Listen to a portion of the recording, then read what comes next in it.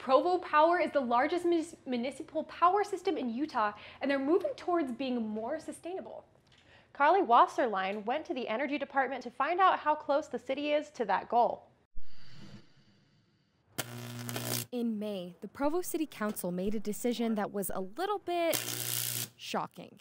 On May 5, 2020, Provo City approved a motion to switch Provo Power to 60% green renewable energy by 2030. We are close to 50%. Sustainability can be tricky to navigate, but Travis Ball, the director of Provo Power, shed some light on the subject. But we also decided to get rid of some of our coal resources and replace that with more sustainable um, solar power. Provo Power built a 4 megawatt solar plant in Spanish Fork and are building an 80 megawatt plant north of Mona in conjunction with a few other cities. The difficulties is every time you build something that is intermittent, like a wind or a solar plant, you have to have something that backs it up.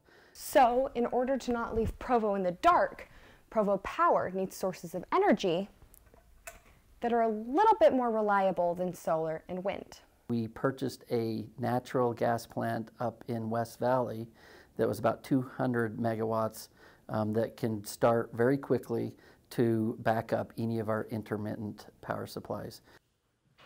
Brigham Young University has done its part in helping Provo reach its goal. And part of that we're counting as a green resource is the combined heat and power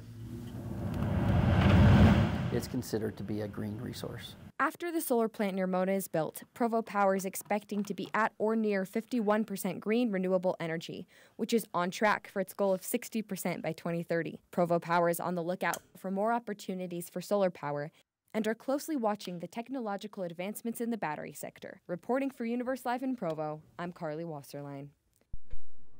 Thanks, Carly. For more information, visit provopower.org.